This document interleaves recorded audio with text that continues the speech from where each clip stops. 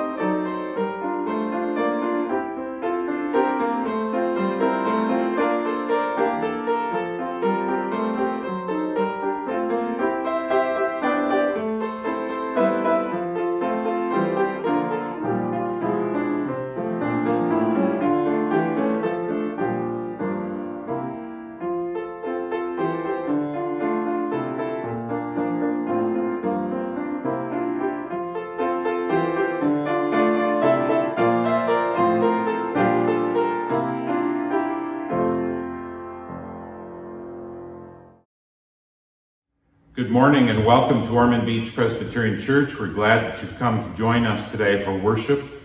Today is Sunday, June 14th, and we're glad that you are joining us in your home, joining us either on Facebook or through our online uh, worship connection. But we are glad that you draw near. In the coming week, we're going to be opening doors for worship in the sanctuary at 8 a.m. and 10.30 a.m. And as you're able to come join us for worship on those days, we would love to have you here in person. But if you continue to join us online, please know that we'll continue to be offering this worship experience for those who need to stay home. However it is you arrive at our church to worship with us, we are so glad that you've come to join us. Let us now prepare our hearts for this time of worship together.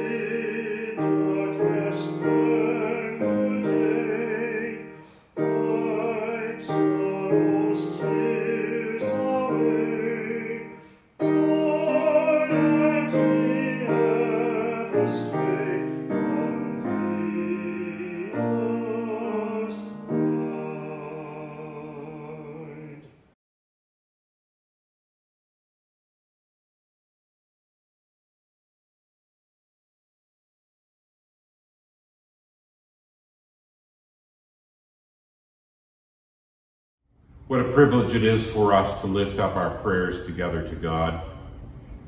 And so we join together now in this time of prayer.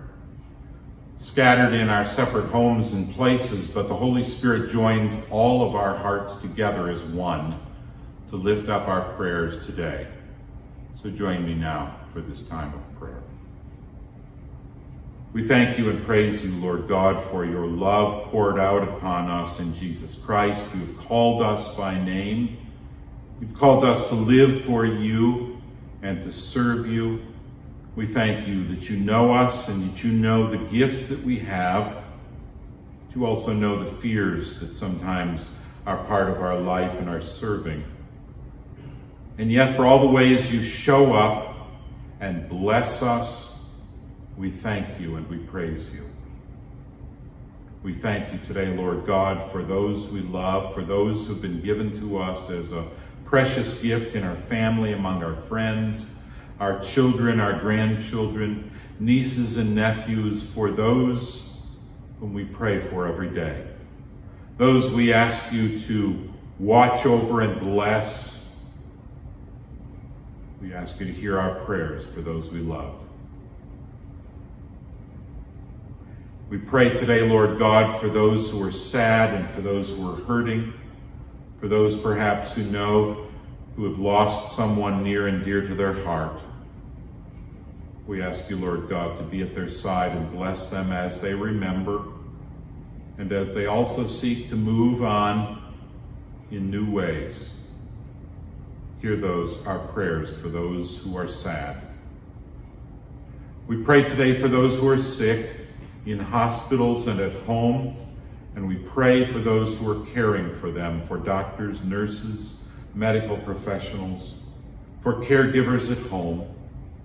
We ask for your healing power for them. And so we pray for those who are sick and recovering from illness. We pray today, Lord God, for our nation, a nation deeply divided. We pray for those whose anger has just kind of boiled over. They can't take it anymore and they need to express their rage at injustice. We pray that all of us would find ways to speak our pain in ways that are creative and that draw us closer to each other and not divided. And so we pray for peace, for reconciliation, and we pray for justice. We pray today for this nation that we love, a nation whose flag flies over our heads and reminds us of the freedoms that are guaranteed to every citizen. Even in these moments, Lord God, we ask thank you for this country and for the freedoms and for those freedoms that our flag guarantees. We pray today, Lord God, for the leaders of our nation. We pray for the leaders of our communities. We pray that you would give them wisdom as they seek to guide us in all the decisions that shape our life. And we pray today for this church. As we open the doors for worship in the coming week, we pray that your spirit would welcome all who come and join us, that it would be the spirit of peace, and that you would protect each and every person as they enter our doors to feel your presence and to be filled anew with your love and your grace. We offer up all of our prayers. We say thank you for the ways in which you draw near to us and that you love us. All of this we pray, thanking you and praising you. Father who art in heaven, hallowed be thy name. Thy kingdom come Thy will be done, on earth as it is in heaven. Give us this day our daily bread. And forgive us our debts as we forgive our debtors. And lead us not into temptation, but deliver us from evil.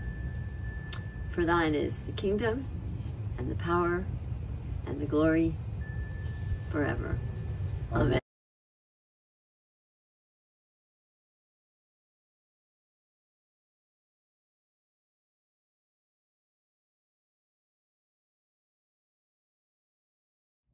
Our New Testament reading for today comes from Paul's letter to the Romans, chapter 5, verses 1 through 8. Let us listen for the word of our Lord. Therefore, since we are justified by faith, we have peace with God through our Lord Jesus Christ, through whom we have obtained access to this grace in which we stand. And we boast in our hope of sharing the glory of God. And not only that, but we also boast in our sufferings, knowing that suffering produces endurance, endurance produces character, and character produces hope. And hope does not disappoint us because God's love has been poured into our hearts through the Holy Spirit that has been given to us. For while we were still weak, at the right time, Christ died for the ungodly. Indeed, rarely will anyone die for a righteous person. Though perhaps for a good person, someone might actually dare to die.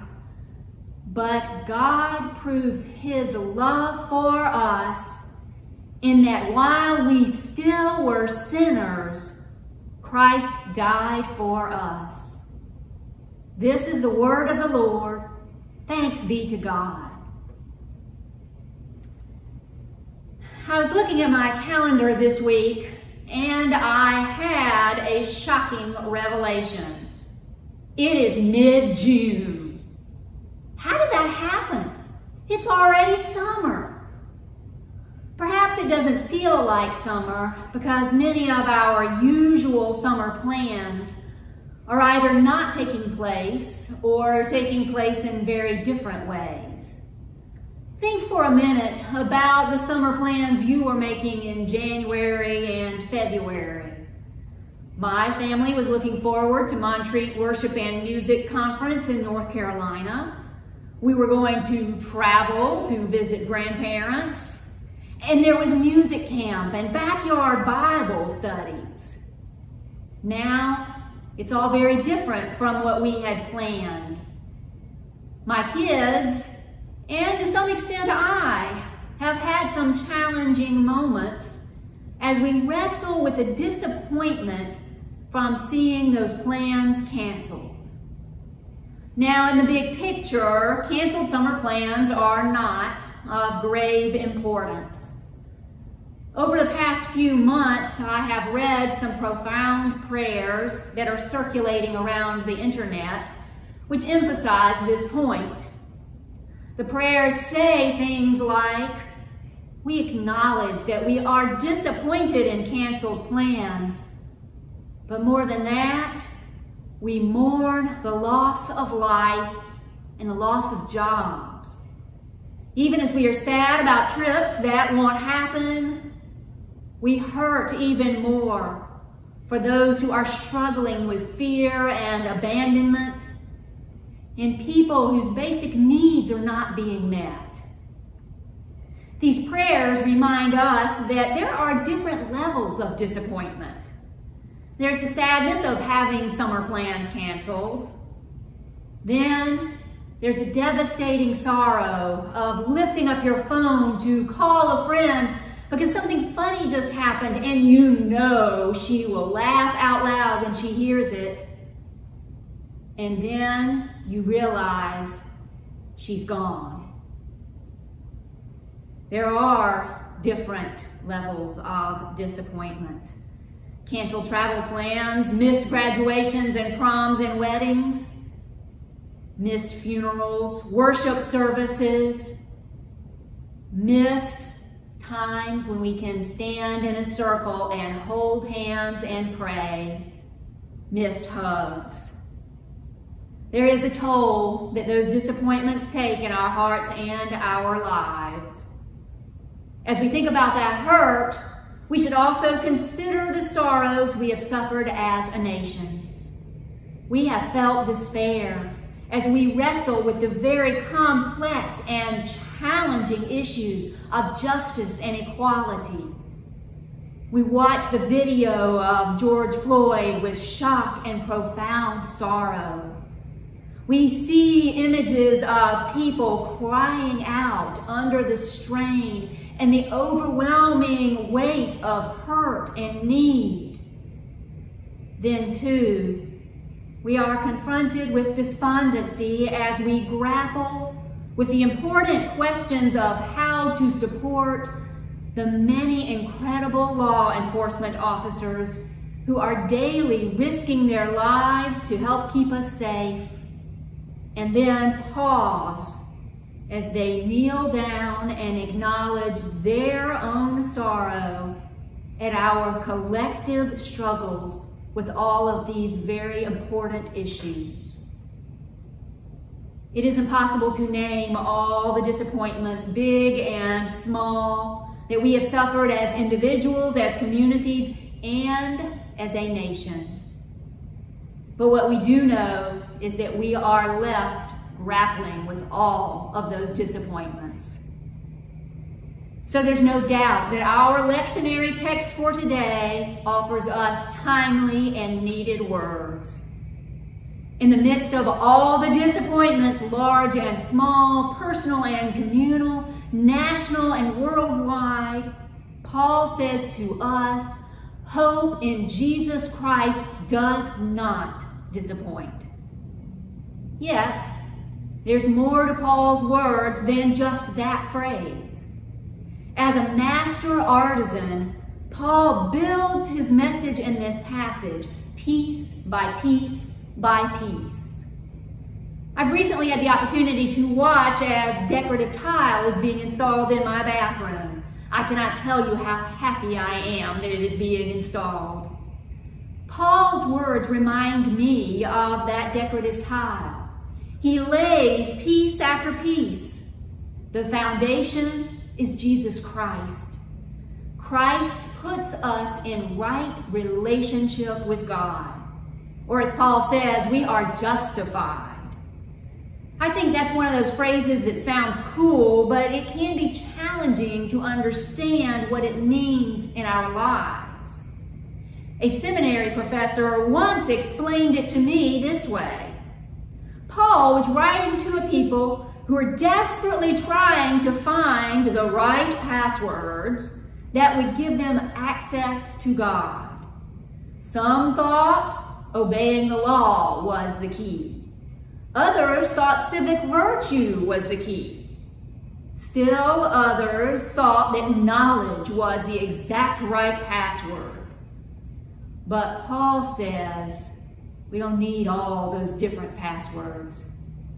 There's only one password that we need Christ Jesus.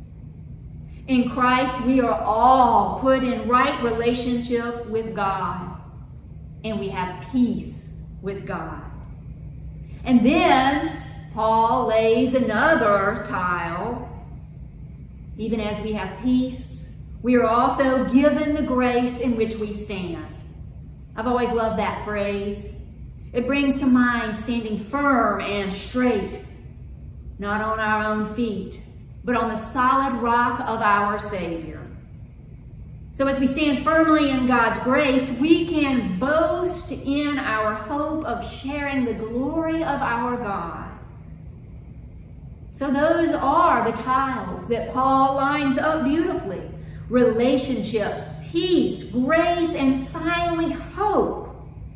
But then all the artistry flies out the window, or it seems like it to me. Because this is the point when Paul starts talking about boasting in our suffering. I struggle with that. To be fair, I actually struggle with most of the next two verses the ones that talk about how and why we are boasting in our suffering. Pastor and teacher Mary Ann McKibben Dana writes that Paul's words here can seem like they are painting a picture of a neat circle where everything fits in place. You see, we boast in hope, we also boast in suffering because suffering produces endurance. Endurance produces character, and character produces hope. And we are back to the neat circle. But she declares, I'm suspicious of it. I am too. She's suspicious of it because it seems too easy. The different parts don't always fit neatly into that circle. And she notes, if that circle represents our best efforts to make sense of a sovereign God and a suffering world, the result is heartbreakingly unsatisfying. Instead of wrestling with the parts to try to make them fit neatly, Dana wonders if it is better to consider how we can live with all the questions. As I grapple with Paul's words, especially for what they mean for us in these times, I think that sounds like a good option to try. We can struggle with what Paul means by boasting in suffering and what that looks like in our own lives. As we wrestle with these concepts, I think we need to acknowledge that it is easier to talk about hope, endurance, and character in the abstract, but talking about suffering is different. Hope, endurance, and character are lovely ideals, amorphous concepts. But when we talk about suffering, it becomes concrete, based on our own experiences, whether they are personal or something we have read or seen or heard. So then, we must wrestle with what those concepts of hope, endurance, and character look like in the midst of our lives. What does it look like in your experience? A good friend of mine was in a terrible car wreck.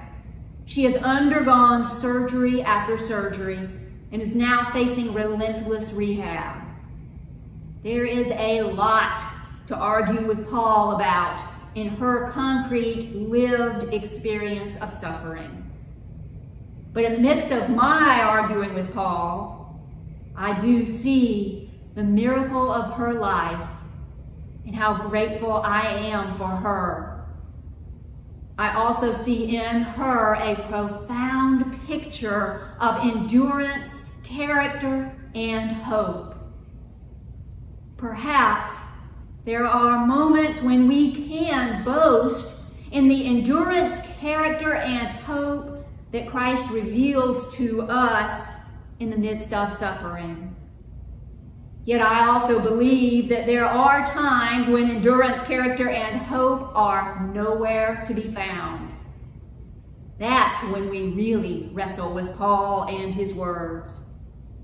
I would like to think that in such situations, that's when we come back to Christ, who, as Paul reminds us, suffered and died for us while we were still weak. When we run out of neatly fitting parts, we come back to God's love for us. A love that was so great, Christ died for us while we were still sinners. That, that is the grace in which we stand. That's the hope that does not disappoint. Just like there's different kinds of disappointments, there are different kinds of hope. Some days, I hope it doesn't rain. Many days, I hope my Georgia Bulldogs have a really good season this year. But those hopes are not the same kind of hope that is given to us in Christ. That is a hope that does not falter. It does not falter because it's not based upon who we are or anything we must do. It is a hope based on who Christ is and what he does. This is not to say there will not be suffering. It is not to say that the suffering will make sense and can be neatly wrapped up in a bow. It is to say that Christ stands in the midst of our suffering and we stand firmly in him. The anthem that our adults and children are singing for today's worship service puts words to this very concept. It names the suffering. The words say, We are longing for light and we wait in darkness. Longing for peace, our world is troubled. Longing for hope, many despair. Longing for food, many are hungry. Longing for water, many still thirst. Longing for shelter, many are homeless. Longing for hearts that yearn to belong. But the song also names the source of our endurance, character, and hope. The words proclaim, Today we are longing for truth, so we turn to you. Your word alone has power to save us. Make us your living voice. The chorus proclaims, Christ be our light. Shine in our hearts, shine through the darkness. Christ be our light. Shine in your church, gathered today. It is a very hopeful song for a time when we need hope. We have gone through many disappointments, big and small, and we should not gloss over them. When I was growing up, disappointment held a great deal of power and influence. What's the worst thing my mom could ever say to me? It was worse than a spanking. It was worse than anger. It was worse than wait until your father gets home. What was possibly worse? These words, I'm very disappointed in you. Disappointment brings to bear hurt, confusion, and questions. That, my friends, is why Paul's words are so very important, especially so important for us in these times. The hope in Jesus Christ does not disappoint. Thanks be to God. Amen.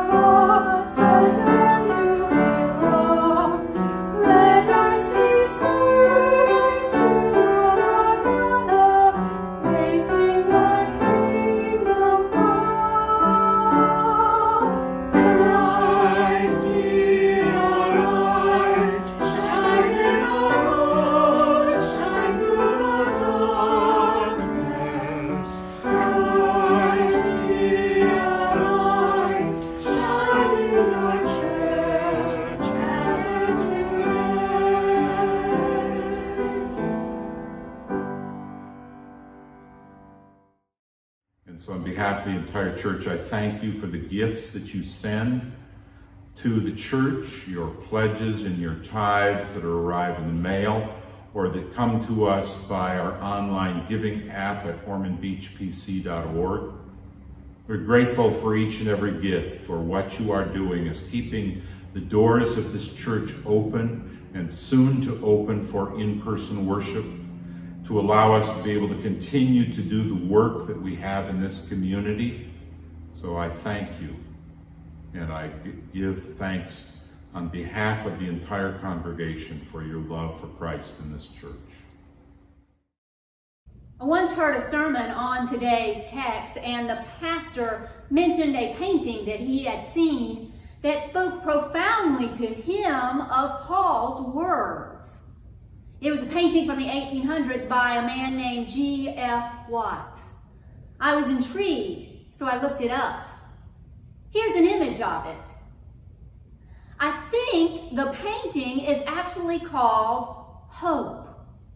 Now, I looked at that painting, and my first thought was, how could this be called hope?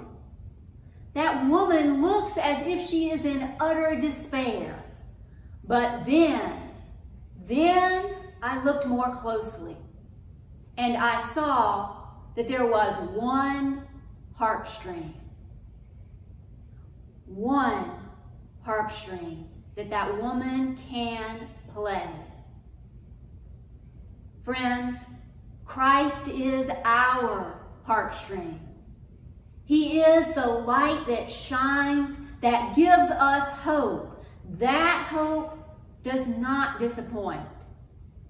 So, go out this day, and however you are able with the talents God has given you, play that one harp string. Proclaim Christ, who is our light and our hope. And as you go, may the God of hope fill you with all joy and peace in believing so that you may abound in hope by the power of the Holy Spirit. Amen.